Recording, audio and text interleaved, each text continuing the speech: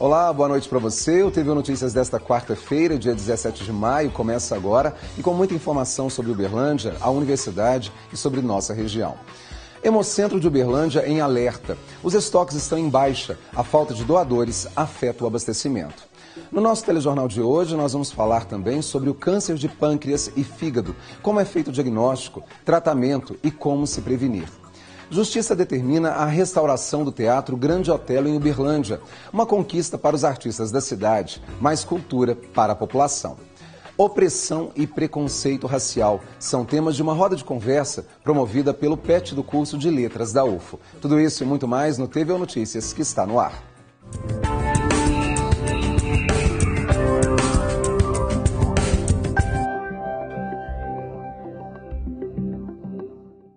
O Hemocentro de Uberlândia está em alerta. Nas últimas duas semanas, o estoque teve uma queda de aproximadamente 50%, principalmente dos grupos O. A ausência de doadores afeta o abastecimento. É a primeira vez que Gabriel doa sangue. O motivo é nobre: ajudar o primo que está com câncer. Acho que cada um tinha que fazer sua parte e vir doar. Nas últimas duas semanas, o Hemocentro de Uberlândia registrou uma queda de aproximadamente 50% no estoque, principalmente dos grupos O. A população está convidada para ajudar a reverter este quadro. Nós percebemos uma queda no comparecimento dos doadores, né, que já vem durando umas duas semanas e agora começou a repercutir nos estoques. Nós atribuímos essa queda no comparecimento à mudança do tempo, que fica mais frio, às vezes chuvoso, e o doador deixa para vir depois, né?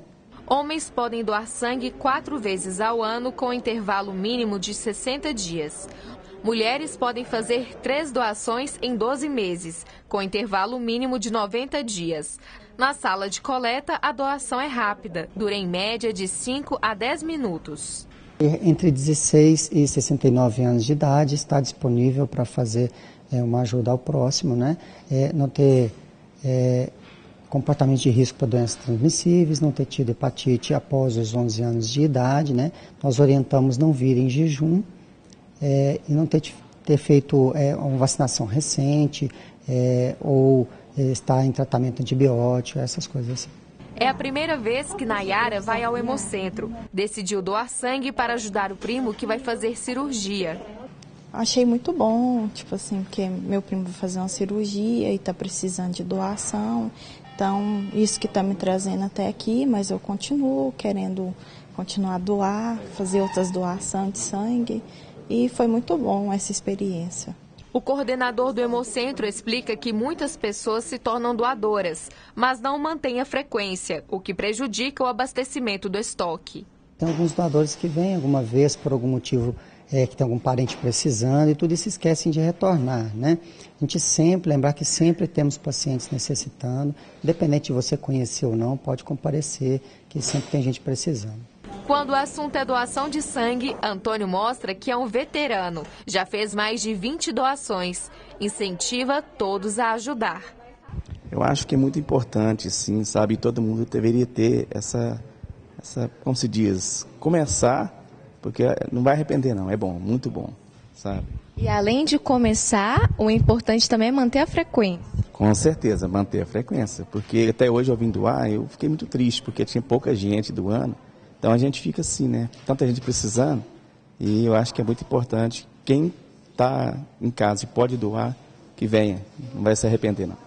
E eu reforço para você, o Hemocentro de Uberlândia fica na rua Levino de Souza, número 1845, lá no Moarama. O telefone de lá é o 3088-9200. A gente continua falando de saúde, só que agora de uma doença que está cada vez mais comum entre os brasileiros e a população mundial é o câncer. Recentemente, um apresentador de TV anunciou publicamente que está com câncer no pâncreas e no fígado. E é claro que, por se tratar de uma personalidade, o assunto tem repercutido, e principalmente se ele vai sair dessa, sobre a possibilidade de cura, inclusive. Quem vai esclarecer as nossas dúvidas é a médica oncologista do Hospital do Câncer da Universidade Federal de Uberlândia, doutora Florença Neves Copati. Florença, muito obrigado pela presença aqui hoje. Eu falei agora há pouco câncer de pâncreas e fígado, como foi anunciado pelo jornalista. Na verdade, a gente conversava anteriormente anteriormente, é, no caso dele em específico, não é bem assim, não é mesmo? Obrigado pela presença. Isso, Bernardo, eu que agradeço a oportunidade de estar aqui prestando um, um serviço de utilidade pública mesmo, né? Isso, na verdade, é, o diagnóstico dele, que foi divulgado pela mídia, uhum. ele tem um câncer de pâncreas com metástase para o fígado. Não são dois tumores diferentes, são um espectro de uma doença só. Quando a gente fala em metástase para o fígado, é como, a grosso modo, como se ele tivesse espalhado isso, para o outro órgão. Isso, exatamente. É quando o tumor deixa de ficar só naquele órgão que ele nasceu, ele cai na corrente sanguínea na maioria das vezes e se aloja em um outro órgão distante. Em relação a esses dois órgãos, é, é, o pâncreas e o fígado, não é tão comum assim a gente falar de câncer nesses órgãos, como, por exemplo, mama, próstata, pele. Quer dizer, não é tão comum não é mesmo? Não é. Na verdade, nenhum dos dois configuram entre os 10 tumores mais comuns no, no nosso país e no mundo também. É, o câncer de pâncreas, ele corresponde a 2% das neoplasias malignas do adulto. Né, e o câncer de fígado, no mundo, ele é a quinta causa de, de câncer. São tumores mais incomuns. Em relação ao diagnóstico, o diagnóstico é feito como é, é feito normalmente por, em outros órgãos também? Deve procurar um especialista? Como que a pessoa percebe? Porque são órgãos que, aparentemente ela não vê nada, pelo menos subcutâneo, ele não tem algo físico. Como é que ele percebe que tem algo diferente? Exatamente, esse é o grande problema. Ah, os dois tipos de tumores, tanto o câncer de pâncreas como o câncer de fígado, são tumores que não têm sintomas específicos. Então, na grande maioria das vezes, eles são diagnosticados já em fase avançada. O principal sintoma do câncer de pâncreas, é a pessoa começa a notar uma perda de apetite e um emagrecimento que ela não sabe justificar por quê. Pode apresentar também uma dor na parte superior do abdômen, tá? Em casos mais avançados, o paciente pode apresentar icterícia, que é quando a pele e a conjuntiva do olho fica amarela. Então, quando o paciente procura o médico por sintoma, é porque a doença já está bastante avançada. Uhum. Em relação ao caso do próprio apresentador, eh, algumas reportagens trouxeram que ele não teria tanta chance assim de vida, eh, até em função da idade. Claro, fez toda um, uma análise de como foi diagnosticado, o momento também. Isso pode ser feito, na verdade, existe isso na própria literatura e nos casos também que são diagnosticados nos consultórios e hospitais? É, em relação a, a, predizer a sobrevida do paciente, uhum. o câncer de pâncreas, dentre os tumores do nosso trato gastrointestinal, é o mais agressivo de todos e o mais letal. Quando descoberto em fases iniciais, um tumor bem pequeno, em que a cirurgia é possível, lembrando que a cirurgia é a, un, a única possibilidade de cura do paciente, é, mesmo assim, esse paciente tem uma sobrevida limitada por ser uma doença que recidiva, que volta bastante e por ser uma doença muito agressiva. Quando já se trata de uma doença metastática, ou seja, uma doença que já saiu do pâncreas e foi para outro órgão, a gente infelizmente, a gente não consegue muitas vezes falar em cura. Uhum. A maior possibilidade que a gente tem é de controle da doença com quimioterapia, mas a mortalidade é muito alta. É muito alta. Em relação a causas, a gente sabe que as causas em relação ao câncer ainda são desconhecidas na maioria das vezes, mas existem hábitos ideais de vida, existe uma série de fatores que estão relacionados e que poderia é, minimizar impactos a pessoa que já tem uma predisposição genética.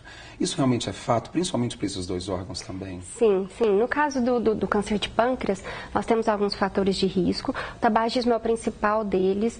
É, uma pessoa que fuma, ela tem um risco de 2,5 vezes maior de ter um câncer de pâncreas do que uma pessoa que não fuma. Tá? É, uma outra questão é a obesidade. Pessoas com IMC maior do que 30 têm o dobro de chance de desenvolver um câncer de pâncreas também. Tá? O alcoolismo, não diretamente, mas o alcoolismo ele pode, é, ele é causa de pancreatite crônica. E a pancreatite crônica, que é uma inflamação do pâncreas, pode também ser causa de, de, de, de adenocarcinoma de pâncreas, que é o tumor mais comum do pâncreas. E a diabetes, a diabetes também é um fator de risco. Em contrapartida, os estudos já mostraram que praticar atividade física é, reduz bastante a possibilidade de desenvolver o câncer de pâncreas. No caso do câncer primário do fígado, né, não da metástase, o câncer que nasce no fígado, condições que levam a uma inflamação crônica no fígado também são causas do, do hepatocarcinoma, como é chamado câncer de fígado. Então, as hepatites virais B e C, é, a cirrose, principalmente a cirrose de etiologia alcoólica, né? Uma outra causa é uma infecção fúngica por um, um, fungo que é principalmente presente em cereais, castanhas, amendoins, que libera uma toxina chamada aflatoxina, que causa uma inflamação crônica no fígado, também levando ao hepatocarcinoma. E aí a obesidade entra novamente como causa de uma doença chamada esteatohepatite, que é o acúmulo de gordura no fígado, levando a uma inflamação crônica no fígado, podendo também ser causa do hepatocarcinoma. Florença, olha, com certeza são muitas informações, muito conhecimento que a gente leva à população, isso é fundamental, principalmente em relação à prevenção como os hábitos ideais de vida. Eu espero contar com você mais vezes para a gente poder falar mais e levar mais informação à nossa comunidade. Muito obrigado pela presença mais uma vez. Obrigado pela oportunidade, estarei sempre à disposição. Muito obrigado. E daqui a pouco, Justiça de Uberlândia determina a restauração do Teatro Grande Otelo. O projeto já está em fase de licitação. Tem também a previsão do tempo para amanhã e muito mais. O TV Notícias volta já.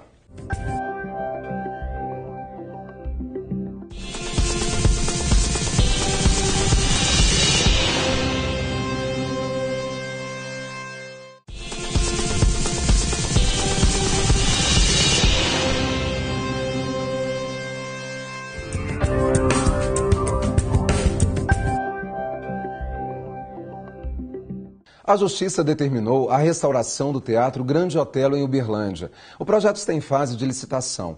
Para os artistas da cidade e para as pessoas que tiveram a oportunidade de assistirem a alguma apresentação, garante, o teatro foi um dos ícones da cultura de Uberlândia. Luiz Humberto sempre teve a vontade de atuar no teatro antes mesmo de começar o curso na universidade. A notícia sobre a restauração do Grande Otelo deixou o artista surpreso e ao mesmo tempo alegre. Ao lado da, da, da do, do Teatro Grande Otelo tinha aconteciam oficinas, né, é, seminários, palestras, né, então tem uma função de formação e mas principalmente uma função de local de apresentação. A gente sabe que as, as cidades interessantes têm teatros, né, não só os grandes teatros, tem os médios e pequenos teatros. Esses pequenos e médios teatros é que também fazem ferver a vida cultural e teatral da cidade.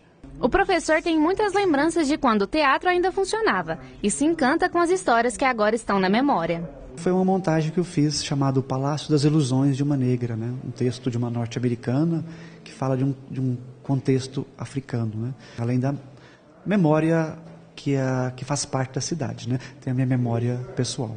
Interditada em uma das regiões centrais da cidade por causa de falhas na estrutura, o prédio em ruínas com paredes pichadas já foi palco de grandes peças teatrais. Construído em 1966 e batizado em 1993 como Grande Otelo, em homenagem a um artista uberlandense conhecido no Brasil e fora dele. O teatro, de quase 800 metros quadrados, está assim, destruído e decadente. O prazo para o início da restauração do espaço, determinado pela Justiça, é de 18 meses. A secretária de Cultura conta como estão os preparativos para o começo das obras. Feito uma licitação, né, aberto um edital público para contratação de engenheiros e arquitetos para a elaboração dos projetos arquitetônicos e projetos de engenharia. De acordo ainda com a secretária, a ideia é resgatar para a cidade um local que é referência das manifestações culturais. Ter salas, pequenas salas dentro de Uberlândia é muito importante para a difusão, para a diversidade cultural do município, para a implementação de novas políticas públicas. Então a importância dele é enorme. Mas o que é mais importante dentro do teatro é a memória do que ali se viveu. Mariano mora próximo ao teatro há 10 anos. O taxista acredita que a restauração do teatro é positiva e deve influenciar também no trabalho dele. É vantajosa para o bairro, para o local. É, é, muito bom para os artistas. Aí, ó. Você está abandonado. Acho que tem que abrir. O tempo esfriou um pouquinho, mesmo com a predominância de sol entre nuvens ao longo do dia. E a previsão para esta quinta-feira você confere agora no mapa.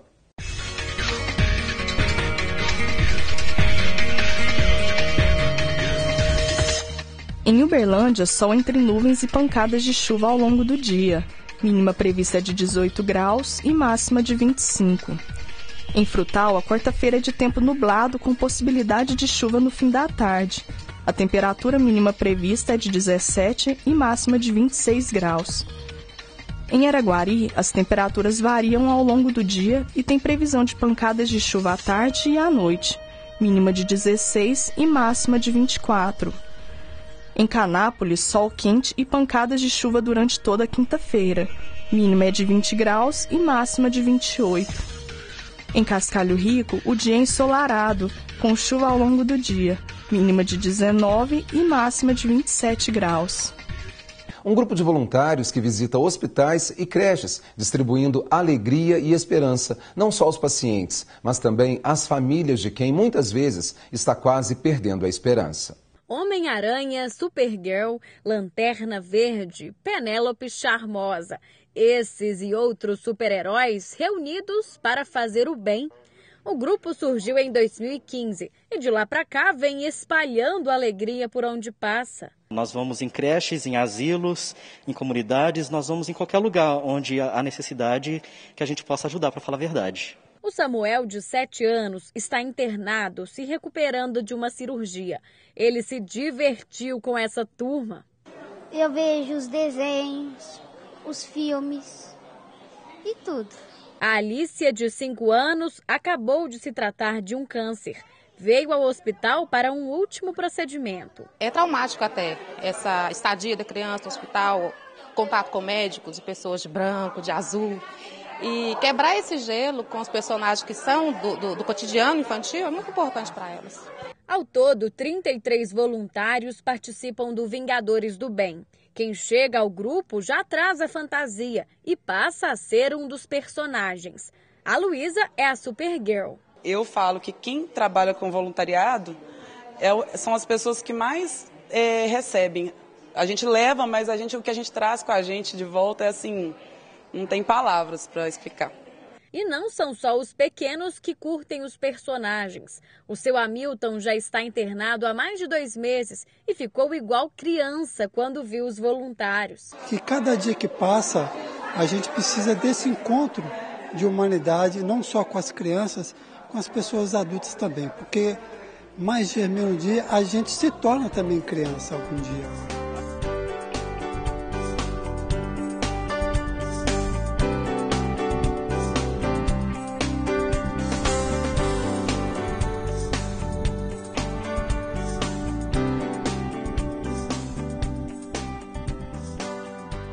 Ajuda muito trazendo alegria, trazendo uma vontade da criança de melhorar, traz uma alegria para a família também. Eu acho que isso gera um conforto muito grande, é muito importante. Alegria total. É, você viu a carinha dele de surpresa, né? Ele achou até que era para ele uma festa. Eu acho que alegrar a criança é sempre bem-vindo. Belos exemplos aí que nós vimos na reportagem e com certeza com disposição, tudo vale muito a pena e muda a vida dessas pessoas e para melhor. Depois do intervalo, saiba como participar do concurso de bandas Minas Music. As inscrições foram prorrogadas. E uma roda de conversa do PET do curso de letras da UFO discute sobre a opressão e preconceito racial. O TV Notícias volta em instantes. Até já.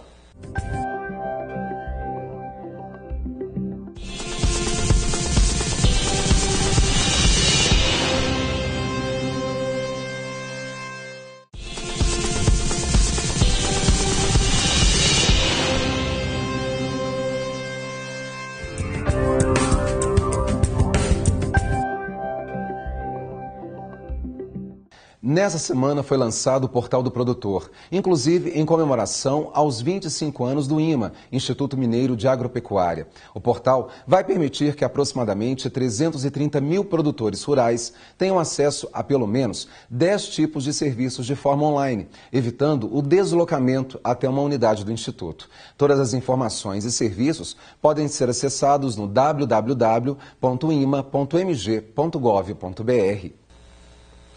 Opressão e preconceito racial foram temas de uma roda de conversa promovida pelo PET do curso de letras da UFO. As discussões têm como proposta multiplicar informações e conhecimento, além de contribuir para uma sociedade melhor. Augusto foi vítima de preconceito racial na infância. A primeira vez passou, mas a situação se repetiu ao longo dos anos, até o estudante perceber tudo. E chegando nesse lugar, essa pessoa ela falou para mim: "Nossa, mas que perfume forte, que cheiro forte é esse? Mas outra vez essa pessoa ela já remeteu a mim é, com termos pejorativos em relação à pessoa negra, sabe? Ah, negro só podia ser preto mesmo, só podia ser negro, porque serviço negro não, não presta. Então eu fiquei pensando, mas por que, que essa pessoa ela tá falando comigo, tá falando isso pra mim? Dandara é pedagoga e virou figura pública depois de postar em uma rede social relatos de agressão e de injúria racial durante uma festa de formatura. A repercussão foi grande, com mais de 17 mil compartilhamentos. Convidada como palestrante nessa edição do debate, abordou o tema: combate à opressão. Eu trouxe aí um relato sobre o que aconteceu comigo quando homens brancos tiraram meu turbante e jogaram no chão numa festa de formatura e como é que isso faz parte de um sistema que é racista, machista e ainda perpetua as várias formas de violência e de opressão, né? Mesmo com uma agenda lotada de atividades, Nandara planeja começar o mestrado ainda esse ano. As palestras e discussões, segundo ela, são fundamentais, contribuem para o futuro da comunidade. Muito importante. Primeiro, para a gente desnaturalizar casos como esse e explicar que o racismo é uma dificuldade real que nós enfrentamos no nosso dia a dia, assim como as demais opressões, e também importante para que a gente tenha uma tomada de consciência. Este professor e tutor de PET Letras afirma que os temas abordados são relevantes para a sociedade e aproxima os participantes da realidade. Esse projeto, cujo nome é Tete a Pet Diálogos às Terças, ele é, promove o debate entre pessoas que têm algo a dizer. A gente não importa qual que é a formação da pessoa, a ideologia, a convicção, a origem, a raça. O importante é que a pessoa tenha algo a dizer e compartilhar, compartilhar não só com a comunidade universitária, mas com a sociedade ah, como um todo. Profissões, diversidades, vivência, costumes são alguns dos temas taxados como tabus pela sociedade e discutido pelo grupo. Aqui, a roda de conversa tem como finalidade proporcionar um pensamento crítico e verdadeiro sobre vários assuntos. Na universidade, o que a gente tem, na verdade, é um espaço para discutir a diversidade e não só localizada na universidade, mas também abrindo para a comunidade que queira conversar com a gente sobre temas dessa natureza. Hoje, no sétimo período de letras, Augusto enxerga a importância dessas discussões, principalmente devido às experiências de quem já sofreu preconceito é muito importante para quebrar os preconceitos que existem dentro da sociedade. As inscrições para o nono concurso de bandas Minas Music foram prorrogadas até o dia 21 de maio, próximo domingo. Tem muitos participantes aqui da universidade e você também pode participar. Sobre as inscrições, quem pode participar e muito mais, eu converso agora com a Carolina Miranda, que é coordenadora de produção do concurso. Carolina, muito obrigado pela presença aqui hoje. Quando a gente fala de um concurso ligado à música, à cultura e à apresentação desses novos artistas, a maioria bem jovens, é uma satisfação muito grande, né? Até para revelar esses talentos para o mercado, não é isso? Muito grande. É, a gente até teve um, um, depoimento super bacana da banda que venceu a última edição, que eles é, não tinham a banda formada e aí na última edição, última semana, como, como agora, assim, última semana de inscrições, eles resolveram montar a banda, criaram o nome se inscreveram e foram os vencedores. Então, isso para a gente é, muito, é uma satisfação muito grande, porque a gente vê que o nosso objetivo está sendo atingido, que é de revelar e formar esses talentos. Que maravilha. E quem pode participar?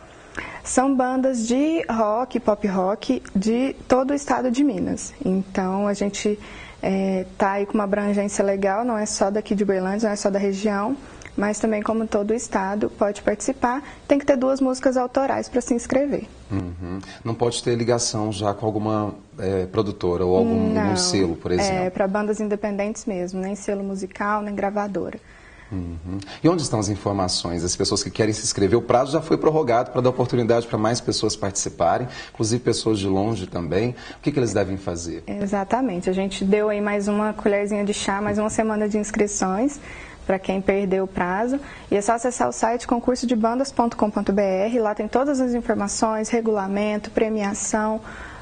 E, e, por lá mesmo a banda já faz a sua inscrição, que é super fácil, e envia todo o seu material, foto, música, tudo que pede ali no, no regulamento, eles enviam para o próprio site. É importante reforçar então a data limite aí para inscrição. Domingo agora, então se você perdeu o prazo, não perde de novo, é a última chance dia 21 de maio, vai até é, os últimos minutos ali do dia. É, mas não pede não, se inscreva já. Que bom, olha, sucesso, Carolina. Muito obrigado pela presença aqui, pelas informações também. Eu que agradeço, muito obrigado. obrigado. A gente encerra o TV Notícias desta quarta-feira. Uma excelente noite para você. Fique agora com as notícias do Estado no Jornal Minas, segunda edição. Um abraço e até amanhã.